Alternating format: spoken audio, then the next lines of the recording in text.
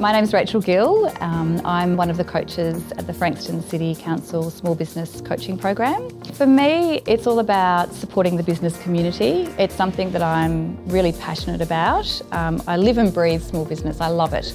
This program is a fantastic initiative to engage with a private business coach. You could be paying hundreds of dollars. The Frankston City Council offer a 45 minute session for a $20 investment. We have 12 brilliant coaches they represent the local community. Some business coaches specialise in finance, others in marketing. We have experts in retail, human resources, business planning and digital marketing as well.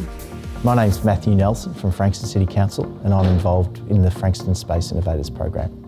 The Frankston City Centre has had an issue with vacant shops in the last few years. This program is to activate the empty shops to get property owners to offer a rent-free opportunity to move into a shop front for the first time. And the whole idea is that uh, we're creating a bit more vibrancy in areas that need it most. Frankston Council's involvement is to facilitate an agreement between the property owner and the business and hopefully with the life skills that you learn with having a shop for the first time, that, that could be a, the first step to having a commercial tenancy.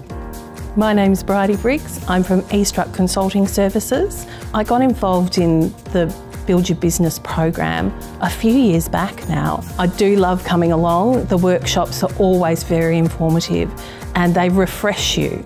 When they come along to evenings like this, you get to network with other businesses that are in the area. They get ideas, they get some bravery, I suppose I would call it, in terms of rolling up their own sleeves and having a go. They just supply so many different things, from the basics of accounting right through to marketing. I think the workshops are of incredible value because the presenters that the council's putting here are looking at the particular audience and trying to distill something that is going to be working for them and, and quite genuinely deliver a benefit to their business.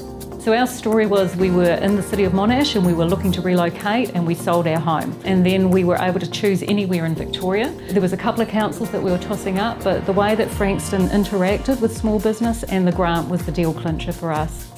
We were injecting a lot of money into our own business and so the fact that Frankston were prepared to give us a $15,000 grant validated that we as a small business had a future. Our turnover, the, the, amount of business that we're doing is about two to two and a half times what we were doing when the grant was actually given to us. So that grant has made a huge difference in accelerating our business to the point where it is today.